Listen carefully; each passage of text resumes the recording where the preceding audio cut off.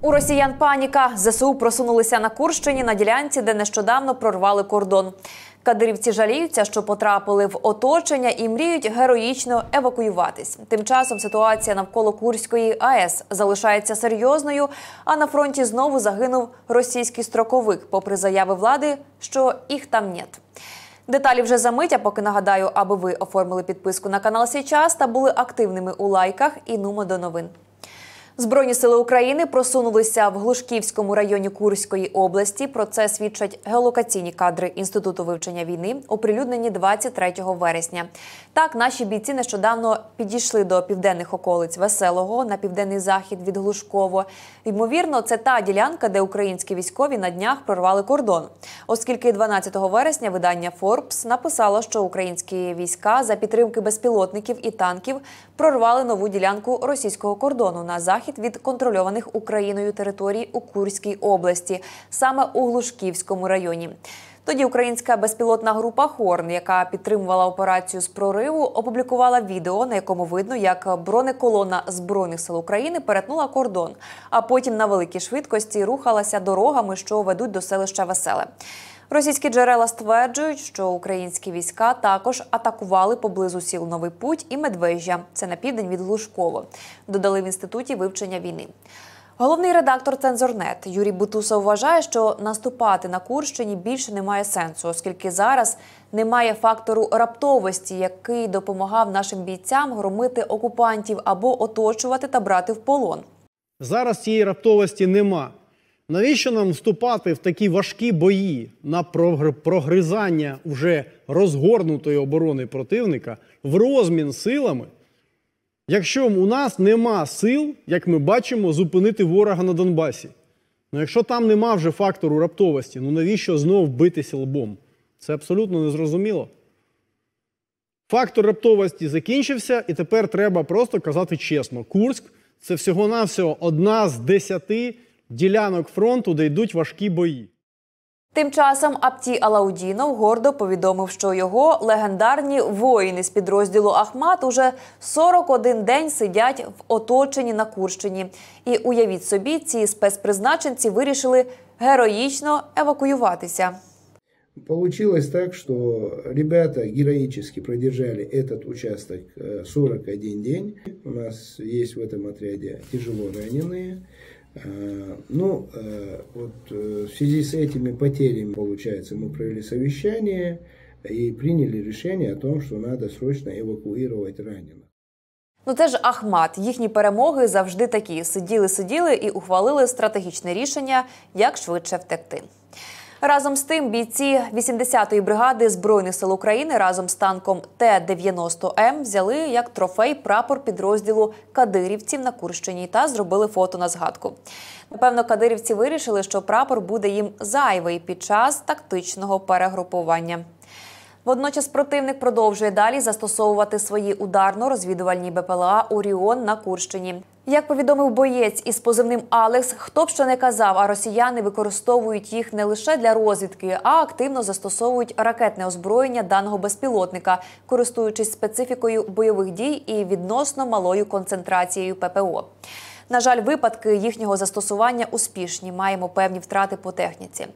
Далі про ситуації навколо Курської АЕС. Генеральний директор МАГАТЕ Рафаель Гросі заявив, що обстановка залишається серйозною.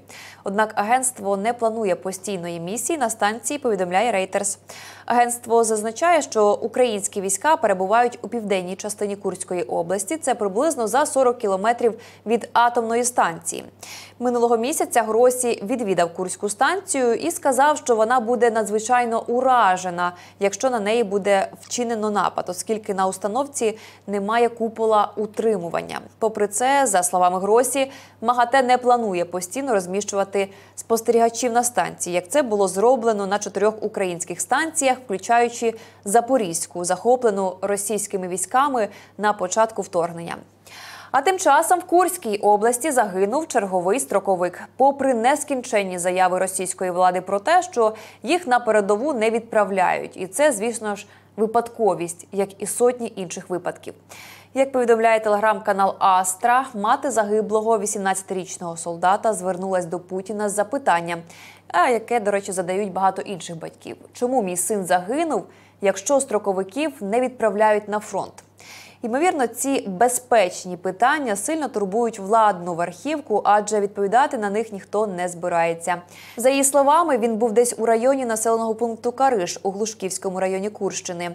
Її син Валентин був відправлений на строкову службу наприкінці 2023 року до Костроми у 331-й гвардійський повітряно-десантний полк.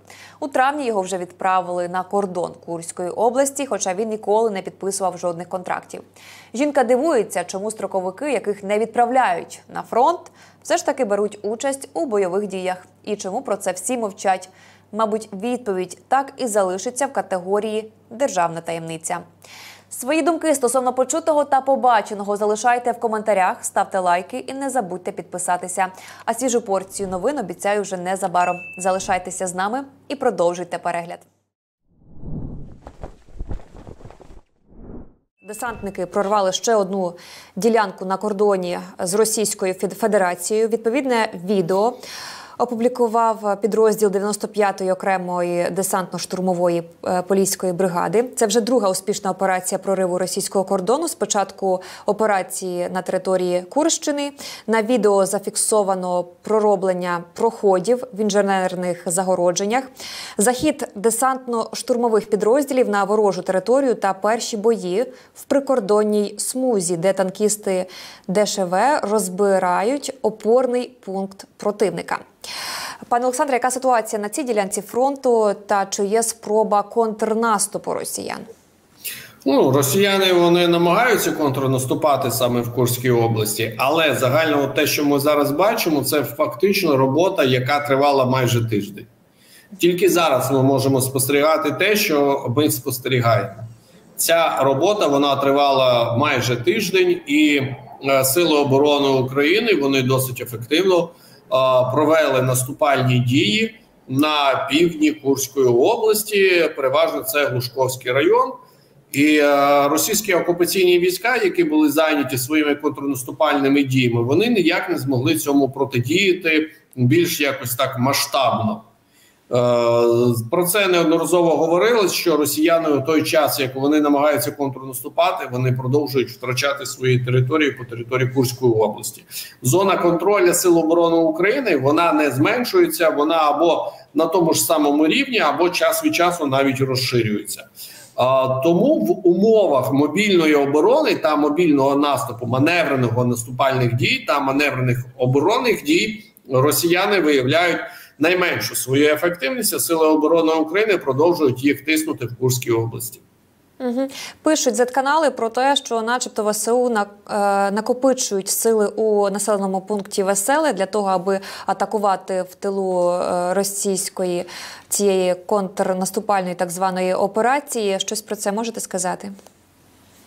Ні, про це я нічого не можу, не можу сказати. Нічого не знаю про це.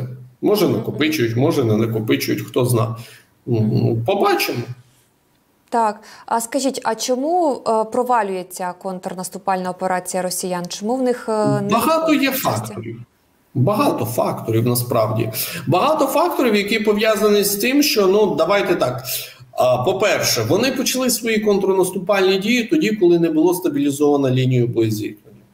Спочатку, щоб починати контрнаступ, треба лінію боєзіткнення стабілізувати. А вона не стабілізована взагалі там в Курській області. Це перший момент.